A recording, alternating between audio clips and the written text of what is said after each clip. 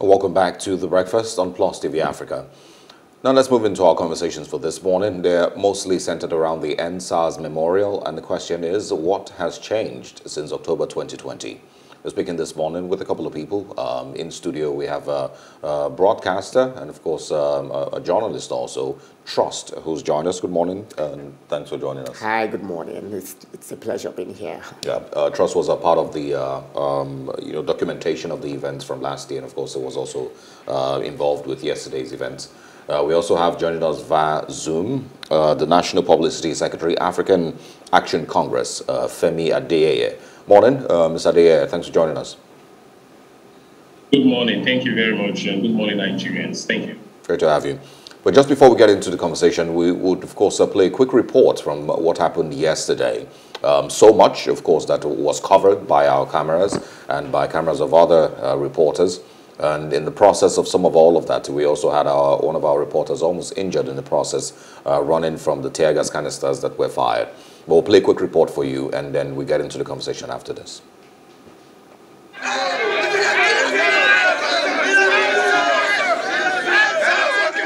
Now we are live at the um, at the Lekki toll gates, the protest ground. And surprisingly, the whole place is filled up by protesters. Right behind me are security um, operatives guiding the protesters from coming further, you know, so that passerbys and motorists will be able to ply the route without any hitches. There was a massive gathering this Wednesday morning at the Lekki toll gate. It looked like a transfer of aggression, of pain and anguish. The protesters rallied on foot and in vehicle procession, causing some gridlock earlier in the day. While the police were stationed at the toll gate for security, lawyers for the EndSARS movement and other activists advised the protesters to vacate the scene as they foresaw a situation where the process would be hijacked. The point is that we have made the point. They said don't come out, and, and we came out. It is good time to leave. It's not good for we youth now to move out of uh, Lekki Toge because we can see now a lot of hooligans being sponsored by the politicians, so they will not hijack the protest. The protesters were undeterred as they make their demands known. Let them free all the protesters, EndSARS protesters. We want to, we need end bad government. The Nigerian government should swallow their pride and come out and apologize to the people. My friend died at Ukwebi Island. They shoot me through my element. I'm a dispatch. Look at me very well. There are still over 300 protesters in prison. Now, I'm calling them protesters, but all of them are not even protesters. Some of them were just bystanders. Some of them were just going to work. And after a year, not one soldier has been put to book. Alas, gunshots could be heard.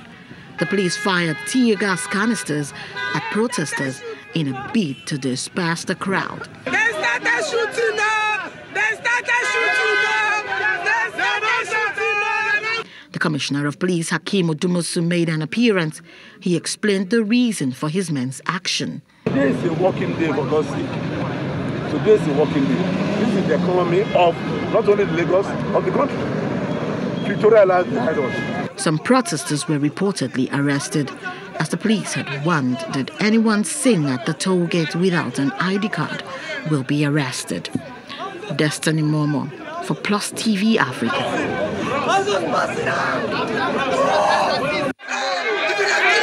Well, um, the scenes from uh, yesterday and um, all that um, uh, took place uh, of course, uh, we still have other reporter who will be sharing with you as we um, have this conversation. But I am going to start, you know, the conversation from uh, speaking with uh, Trust uh, Inonse, who's a journalist and a broadcaster also, and uh, was a part of the the uh, protest, so well, part of um, documenting events from last year and, of course, yesterday also. Um, Mr. Inonse, good morning. Thanks for joining hey, us. Good morning. Good morning once again, Nigeria, Africa and beyond. Uh, the, the, question really is, you know, what really has changed um, between last year and today? Um, so, so let's start with, you know, from what you saw last year and, right. you know, um, what you experienced last year and, of right. course, uh, uh, yesterday also.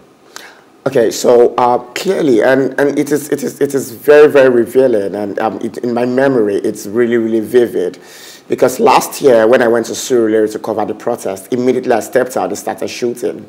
So that, that incident in my head was more or less like, you know what, what would have happened if I was still in the, on, on ground at Surulere, right? So moving on from there to now, when I was in, uh, when when I, I definitely was on ground again at Lekki Toll Gates, it's it's pathetic and it's really really annoying to, to say that I don't think anything has changed. And this, this transcend into other facets of our existence as Nigerians where we necessarily don't understand that we should learn from mistakes, right? Um, Lekki Toll Gate happened October 20 last year. This year, October 20 again, there is no lesson learned. It's more or less like if, if the, the way of solving any issue for the police force and the extension, the government, seem to be false. Once it's not force, they have no other negotiating chip to other to negotiate with the people. And that tells the fact that the only negotiating chip that you can use for your citizenry in Nigeria and even in better climes are good governance. And to the extent of that negotiating chip can't be actualized through these governments, then they use the other means, which is force. From last year to this year, they, I, I, I think personally that they're not yet ready to, uh, to adopt or employ the negotiating chip of good governance. And all they still want to continue to do is brutal force, which is definitely, definitely appalling. Okay, uh, let's get Femi Adeyeye. Femi Adeyeye, can you hear me? Uh, yes, clearly. All right. So you were on ground yesterday. I, would like that you share your experience with us. What was it like being at the toll gate yesterday? All right. I will start by saying um, what happened yesterday is a victory in itself. It's a victory for the Nigerian people, um, in which that there would never be a time when the Nigerian people would surrender their freedom, uh, will surrender their resistance or the altar of any intimidation or threats. Um, despite the threat by the police, by soldiers, DSS, and every other persons, Nigerian people, the young people of this country came out to say, see, this is our rights, our right to associate, our right to freely express ourselves without intimidation and, you know, any of your violent repression. Would have to be there. And that was what happened. It's a victory in itself. But then it's just to tell us that nothing actually has changed in the operation of the Nigerian police force, the way they, you know, address issues nothing has changed. You would you would see how you know journalists were being harassed, you know, beaten, people were being beaten, thrown into vans, and all of that. In fact, what I consider very, very shameful in the 21st century democracy is that a journalist would come to a protest ground with helmets and bulletproof vests, as if you're covering a war zone. It's very. I never. I don't. I do not think even during the military it was this bad. As you can see in the video you're playing, it, there's a journalist putting on the bulletproof and, and, and, a, and a helmet zone. You're not covering a war zone in Syria. And you can also tell from how the police officers are showing force and everything. It shows that nothing actually has changed. And we are not surprised at the African Action Congress. We are not surprised because it has always been our position that until you pull down the system that continues to breed and you know produce breath oxygen to all forms of brutalities, we are going nowhere. When we are done with police brutality, we will pick military brutality. When we're done with that, we'll pick EFCC brutality. In fact, what I call economic brutality is also with us. All forms of brutality will not live until we upturn that system that is producing all of these brutalities. And that is the work for every young person who is listening to this, who is also part of the EndSARS movement. It, so, it, sounds like a, a, a lot of work uh, uh, that needs to be done, you know, and obviously may not be achieved in a few weeks or in a few months. There's also those who have said, you know, the best way to achieve this, uh, you know, uh, change is um, through the electoral process. Uh, but hopefully we get to that, you know, angle before we wrap up. Um, Akin Olaoye, we had spoke, uh, spoken with you yesterday. you were on ground at the protest, the memorial yesterday. share with us, you know, exactly how it played out and, you know, your, your feelings uh, seeing the events from yesterday? All right, good morning. Thanks for having me. Uh, it was quite a remarkable outing yesterday by many young Nigerians. Um, a few of us had figured out that, uh, you know, leading up to the experiences from last October, I was at the toll gate, witnessed shootings, uh, spent the last few months helping a lot of the survivors through the judicial panel, in Lekki and really working with the lawyers and making sure that we kept the state government as well as the federal government on its toes with seeing that we had an outcome for justice. Waiting on the panel from the report in Lekki, is a key thing every Nigerian should make sure this government fulfills ultimately. Yesterday's outing by young Nigerians showed that again, they are not misguided, they are not hoodlums, they are not out to destroy a city and a country that they love. What you saw was a full display of patriotism. I don't think in the history of this country you've ever seen Nigerians display that much patriotism while expressing grief, sorrow from an event that really kept a lot of people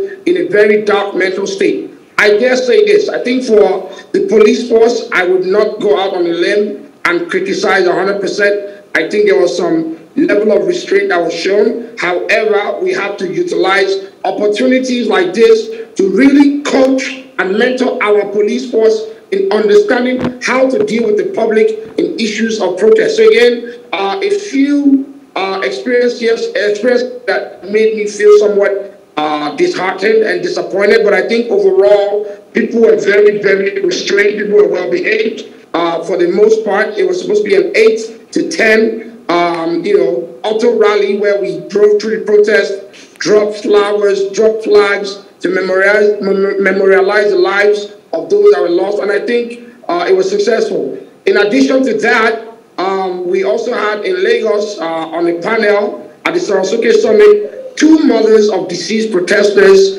that went on camera, faces not blurred, and really spoke about the grief and sorrow of losing children at the toll gate. One of them picked her son in the morning in the wee hours and had him buried. Another mother is looking for the body of her deceased son. If you recollect the video of the kid bleeding from the neck with a flag and was being prayed for, I have the mother here in Lagos. So again, we're not just only memorializing those that were killed, but we're equally asking the state government, we need you to stand up, show accountability, and produce the corpses of the young kids that were killed last October.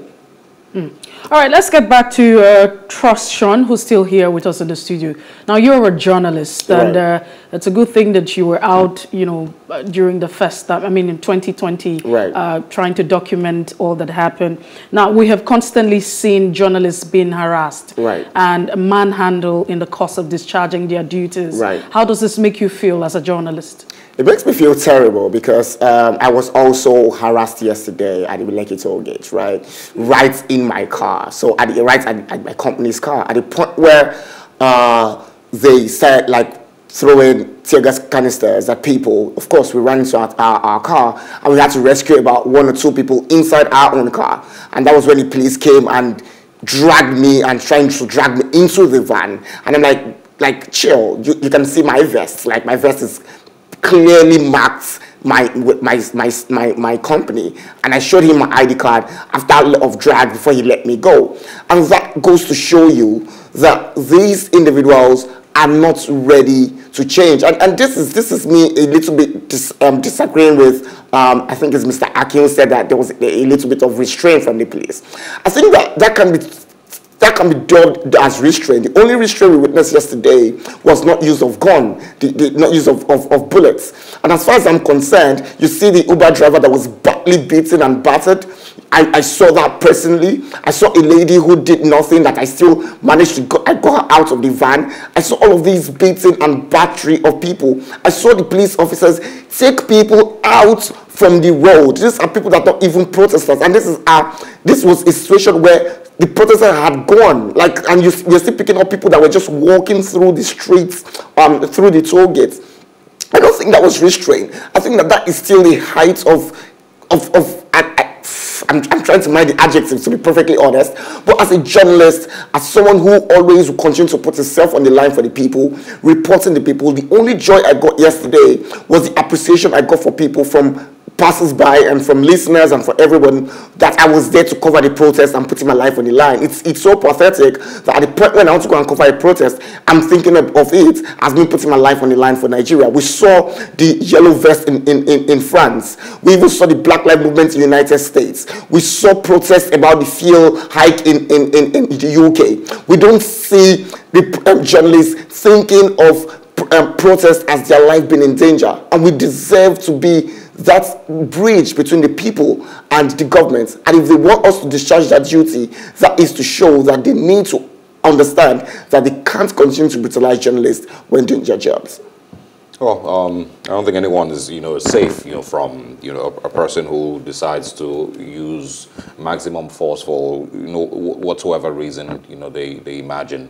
Um, if I'm there, I want to come back to you uh, to share also, you know, what you think must be done, you know, since, you know, from what, from the events yesterday and from the things that we've also seen, not very much has changed with the attitude of the police towards uh, the Nigerian citizen.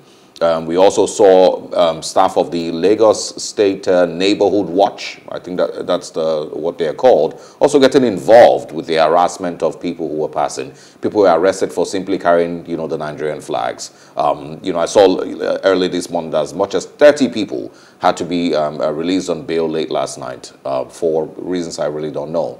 So Femi Ade, what would you say must be done if we want to actually see a difference? All right. Um, I think we should not mince words at all when giving the Nigerian police a heavy knock. It's what happened yesterday is still brutality. You know, it wasn't any restraint or any soft hand at all. It was brutality. Another thing I need to add before I talk about what needs to be done is that you see, you cannot beat a child and then want to determine how the child will cry. It is only in this part of the world you beat a child and then you cover the child's mouth. That you, if I yep him, you understand? You know, African parents do that. And that is what the Nigerian police would always do. And the Nigerian state, after beating the child, you tell the child not to cry, then you tell the child where to cry. And just stay in your cars. And that was what happened yesterday. So, uh, you know, it was a very good, it turned out to be, be a very good um, strategy. But you see, we must not fall into that trap where we allow the state to determine where we cry, when to cry. Because I heard Mr. Akin Olaoye saying 8 to 10, and then everybody should disperse. I do not think we should fall into that trap. We continue to, you know, show resistance, and we all have the moral duty to disobey any unjust law and order. That's being said. And so, on what should be done, you see, where I come from, and the kind of background, you know, ideological background I come from, we understand, we look at things from the roots of the problem. You see, what I have said, even on my Facebook post recently, is that we do not have police officers in Nigeria. We have police investors. That, that's the truth. And I would give you an example to that.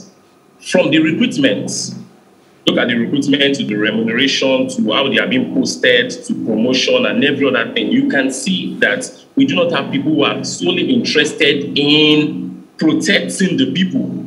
I have on good, you know, accounts the amount some of these police officers pay so that they could be posted to SARS units or where they call juicy places.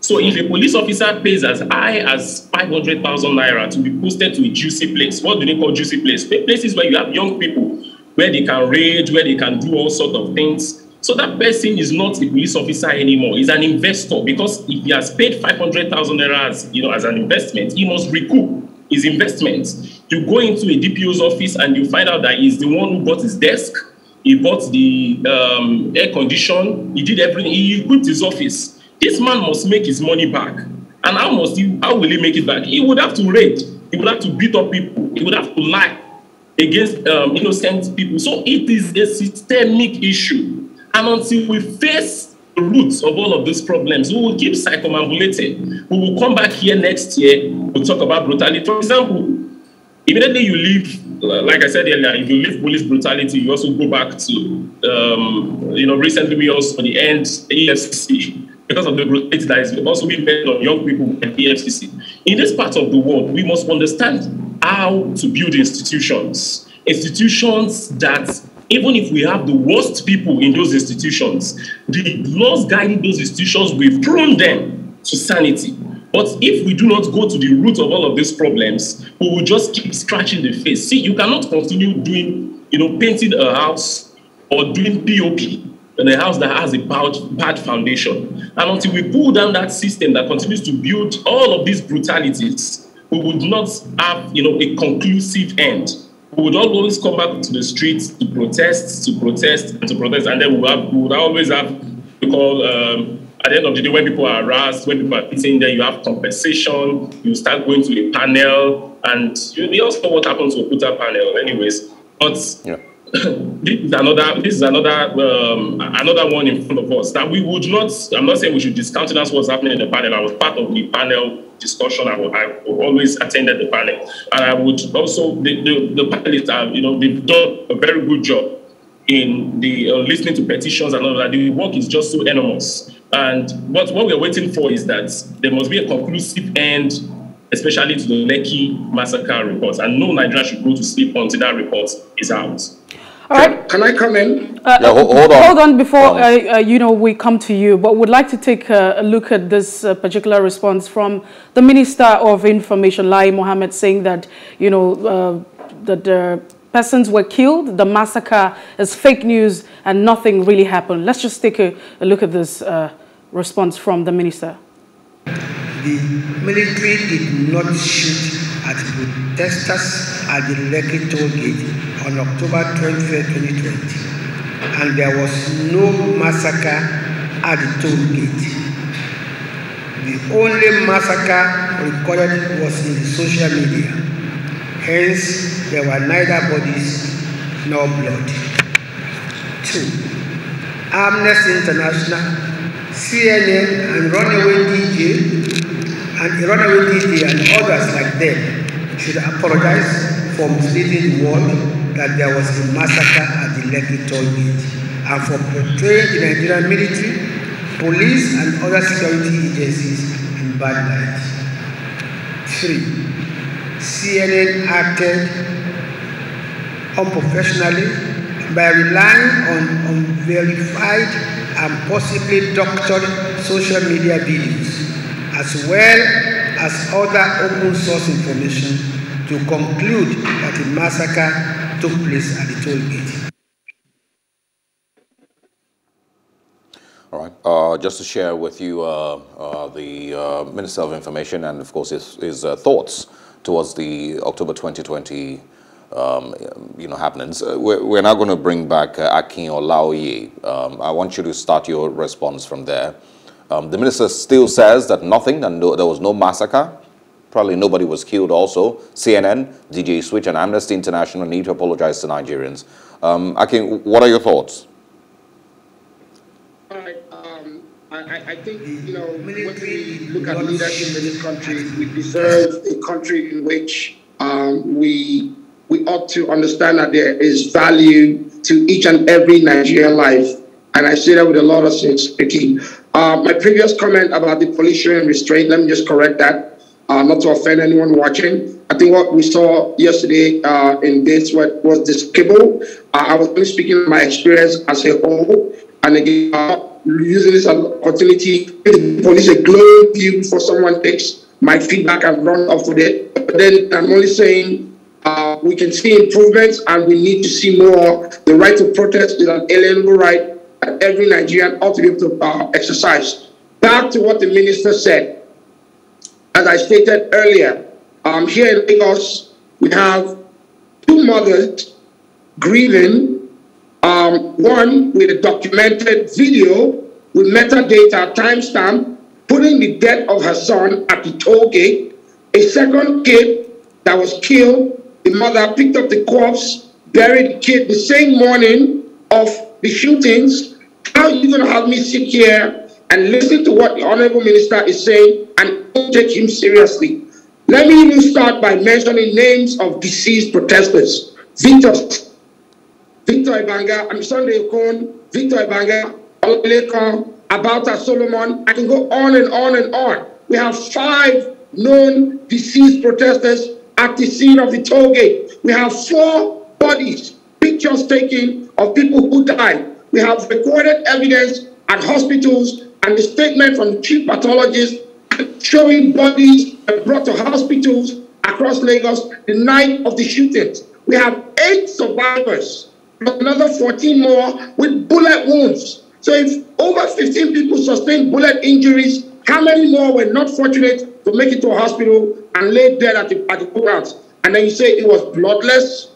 I mean, somebody help me here. I'm just, I'm short of words. Femi, I think you also want to share your thoughts on that one. Trust will come to you. Yes, definitely. You see, Nigerians have been so insulted over time. Um, and this minister continues to be the, the chief insulter of the intelligence of Nigerians. First is that you saw we also a live video. I do not know anywhere in the world where a live video is being video shot until when you know the case of Nigeria you know happened, this Lekki massacre. And then another thing is that so many lies have been told in the course of this whole issue, and these lies are always pointing to the truth. I was at the Lekki you know uh, panel, and when um, I met um, Taiwo, the Brigadier General Ahmed Taiwo, who came to represent the Nigerian Army, when he came, he also agreed that they were at the Lekki toll gates. The governor said um, the soldiers, because these are reports that everyone can you know pick up.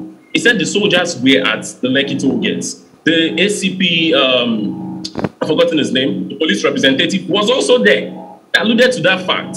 But at the end of the day, he brought, he, he, came just to justify the kind of violence that happened at Lekki toll gates. He came with a particular video. But when it was played, it showed that the timestamp on that video was in November. That's, uh, uh, that, that video had um, some guys who were um, wielding machetes and every other thing. So uh, when it was shown superior argument, he said, okay, it was EndSARS that gave rise to all of the other violence that were now happening across Lagos. You see, so just to tell you that all of these lies are pointing towards the fact that that place on that on that day, you know, was a blood. You know, it's all, everything that happened in that place is just better imagined than you experiencing it. I've met also with some of the victims. Some of them have been permanently injured. Some of them uh, are, are, still feeling pains in their body. There's this guy I met who still has um, a seventh rib he, there was an operation that was done on the seventh rib and he still has serious pains there. So when a minister, especially on a day like this, where in a, in, in a civilized country in the 21st century, if rather than sharing consolation and restitution, you are coming to tell Nigerians that nothing happened and you describe the massacre as phantom. I think Nigerians should, right now from this minute, seek that this minister resigns from office. I think that's the first thing we must do at this time. We are telling Lai Mohammed that he should start putting together his resignation letter because you cannot continue to insult Nigerians with your media wounds. If um, um, what's his name? If Lai Mohammed is not insulting us today, Femi Adesina is insulting us tomorrow. If Femi Adesina is not insulting us, Garba Shehu will be insulting us. You know, this is something we all saw. CNN came up with a, a particular report and then you are not even looking at that. All you have to say is that, and it comes from this arrogance of power, it's, uh, which is also from the system we're talking about. And until we, we call this, we call it, uh, uh, you know, a shot for these guys, they would co continue rubbing um, all this on our faces. Okay, um, Trust, uh, you can also quickly go ahead. Um, I, I, think I think that it's Lai Mohammed. Um, no one should be surprised. Um, it's it's never shocking when Lai Mohammed speaks. Neither is it ever surprising it just continues to solidify to the fact that most times, in vast majority of instances, the people we have in government are clowns, people who necessarily lack the the, the intellectual capability to even lie in the first place, right? So the, the, honest truth is you need some level of intellect to be able to lie. You don't just, you, you, you can't just come outside and insult people without tactics, without knowledge, without experience, and, uh, and without intelligence. And, and, and, and this, this clearly shows that these people are not, see, and see, for you to understand how clownish what he's saying is, Sanwo-Olu, the governor of Lagos State, agrees that they were shooting. Lai Mohammed say there is no shooting. Now the question is, who is the clown? Is it Sanwo-Olu or Lai Mohammed? Like it's it's obvious. Then you say that oh, it is for at times at, at times yeah, it is really really imperative, and I think this is something governance should be all about. It is really imperative we understand that there are things we say so that we don't look stupid, right? You can't say this international public that, hey, an IG live was photoshopped. It is simple. They ask you, how then, where, where was your schooling? How, how then did you, how then were you able to rise to power? It's so annoying understanding that because before the protest yesterday, I know a friend that called me, I was crying all through how she witnessed the protest and was really begging me not to go cover the protest. And you then tell me that there was no massacre, no shooting, nothing. Quick, a police officer yesterday confirmed to me that police officer shot at Lekki yesterday, and you don't tell me there was no shooting. Wow. Clownish. All right, um, um, let's get back to you now, Mr. Akin Olaoye. Uh, now that the government is saying that there was no massacre, this is all fake news, it's fabricated. What next? Uh, we're going to keep demanding accountability. Uh, there's something that this generation is well positioned for and talented at doing, and that is documenting. We've never seen in the history of this country where events unfold and within minutes or hours, we're not putting out factual information to counter a narrative. I will tell you something is happening, and that's the fact that a lot of victims and their families are beginning to find courage to speak up. We've seen that with two of the mothers yesterday. I'll be glad to equally refer them to come on your program and talk about their experiences and equally demand from the government answers to the killings of their young ones. I would equally tell you that a lot of young Nigerians are saying, hey, enough is enough. We're going to keep pushing. We will keep speaking truth to power. We are not the docile generation that will be silenced. And I can tell you something, anytime more than ever, we've seen a lot of political consciousness and engagement. Watch the PVC registrations go up. People are going to the polls, and we will send a message on election day. I don't care who the politician is. People are now ready to say, you know what? You make the wrong move, we're going to hold you accountable. And that's the attitude we need from top to bottom. Um, Femi, um, I think same question to you. What next? You know, and um, where where's this all headed? Um, what can possibly be achieved by a continued um, agitation? Remember, also Twitter is still suspended, um, and um, you know the, the, platforms for which these conversations can go on, you know, seem to be restricted. All right, I, I totally align my thoughts with uh, Mr. Akin Olaoye. You see, we cannot say because we tried something and then we got just little concessions and then we abandon it. You know, we must keep pushing. And um, protests is just one out of the many political processes that must, you know, um, be employed if we want to have a free society where we all can, you know, call our uh, country. Uh, EndSARS actually is, um, I see it as a movement of citizenship you know, people tried to become citizens. They tried, they showed, you know, citizenship. Uh, but at the end of the day, they were, you know, killed for that. And so we must remember this in the context of what it is. Uh, EndSARS, to me, is one of the biggest, you know, movement that showed accountability and transparency and how governance should be everywhere in the world. You know, at some point when hoodlums were sent, we, we protected ourselves. And that is what you call security. We fed ourselves. That's what you call welfare. And security and welfare are the primary objectives of government anywhere in the world.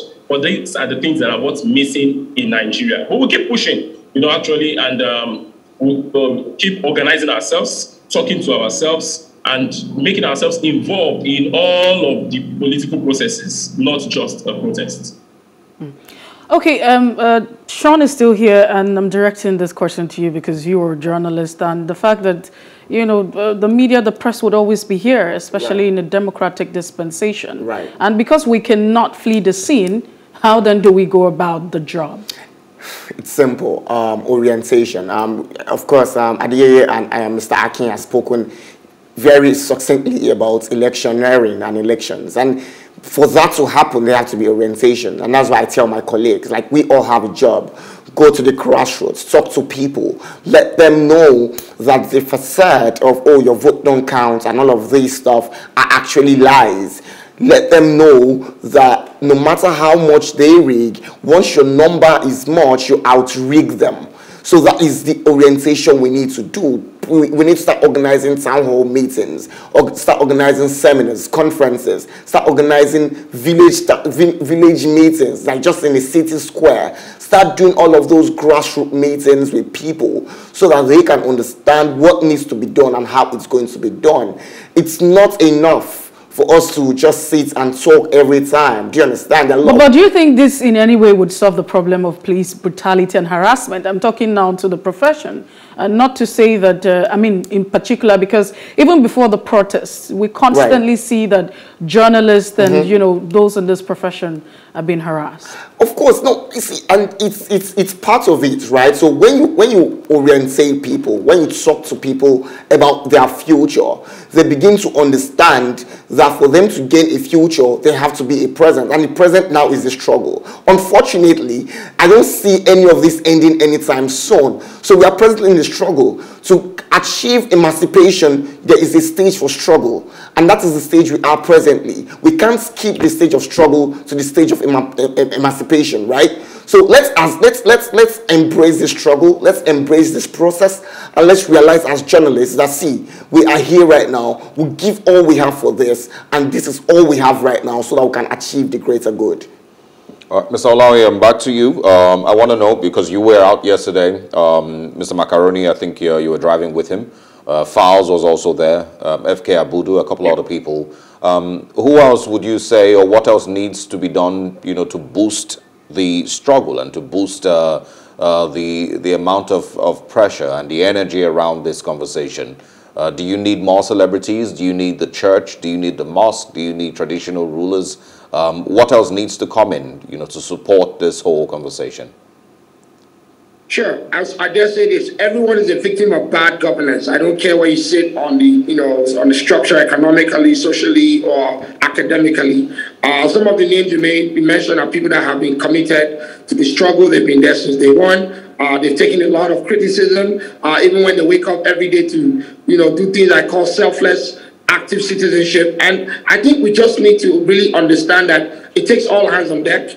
Um, but most importantly, the average Nigerian walking the street is a key stakeholder that's needed to solve this problem. And I think if we all understand that, again, as Nigerians in a constitution, for a country such as ours, as imperfect as it may be, guarantees us certain rights and our ability to exercise those rights every single day we wake up, leave our homes, is something that should not be deprived from any one of us. In terms of pushing forward and really seeing that, again, we, we have a larger tent, bring more people. Again, if, there are a lot of government officials that would leave office and then the veil falls off their eyes and they see these problems that many of us have been speaking to. It doesn't need to take you coming out of that Prado Jeep with police security to really understand what plagues this country. It's all around you. Right now, Nigerians are living way below, you know, what, what you call our, our, global standards for, for existence. There's so much hunger and suffering in land, but on top of that, we have to deal with police brutality. We have to deal with, you know, harassment of citizens, violation of human rights. I say this, everyone is needed in this struggle, and I think until we get to that promised land, we won't stop fighting. Mm. All right, um, I, we still have Mr. Femi. Uh, Mr. Femi, do you think that this is a time where we should be talking about state police? Because uh, I'm thinking, uh, how do we now address this issue? At the end of the day, uh, arguments would be that the government or state governors, uh, they don't really control the police architecture in their state.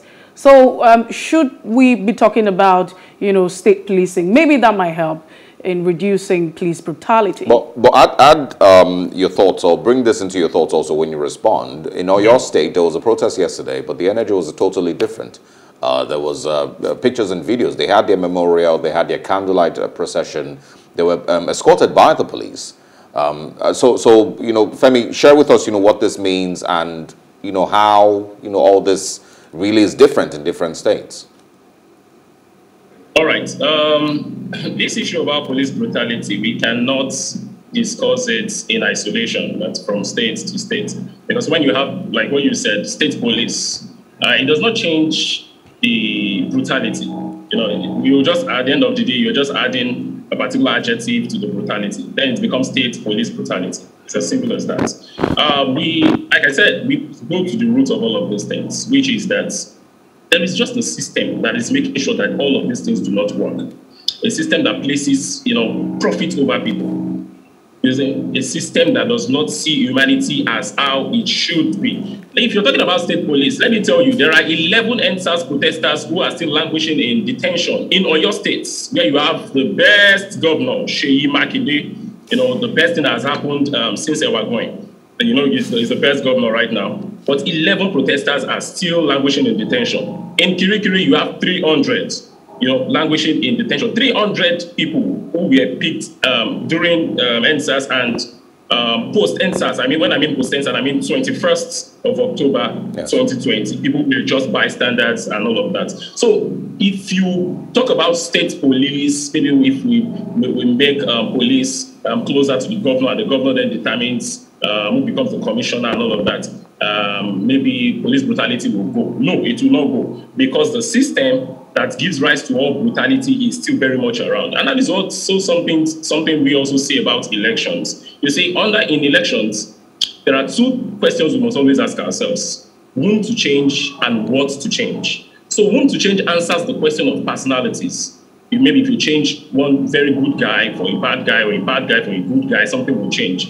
No, it's, it's just a, a step that is the first question. And that was what happened in 2014, 2015. Everybody wanted to chase out the PDP for the APC. Maybe let's chase out, you know, Jonathan for Buhari, you know, the disciplinarian, the incorruptible, and many, many other accolades that were given to him. But till today, we can now see, you know, what history has brought before us. Now, the what to change question is the system that we run, which is the political system and the economic system that places, you know, people, uh, profit over people. Until we crush that system, if you like, bring the most incorruptible guy into that system, the guy is going to mess up big time. And that speaks to what you're saying about state police okay. Um, we have a, we have another uh, quick report to share with you, and this is um, you know from our reporters on ground yesterday, uh, what they experienced, and uh, we, will talk about it right after this. So quickly watch this. I heard a sound. I was like, "Is this a gunshot? What is this?" And people started running, and then it became intense. They continued. I am a cameraman. We started running. We're crossing the road at the other side of Lekki Toll Gate, where the cars were, were coming with so much speed. We were crossing, we didn't care. And I was praying. I saw some other people going through a barbed wire into the, the water, the waterways where the water was around the Lekki Toll Gate.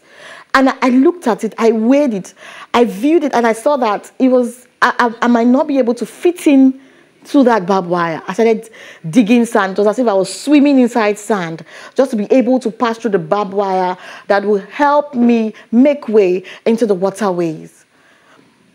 And then people were like, my camera, I saw my camera on the ground. I was like, God, as I was carrying the camera, people were shouting, Leave the camera and run. Your life is more important. Leave the camera and run. And other people were asking us not to pass through where the barbed wire because they were scared that the police would start coming and then they were driving us. And I had to lie that I was pregnant.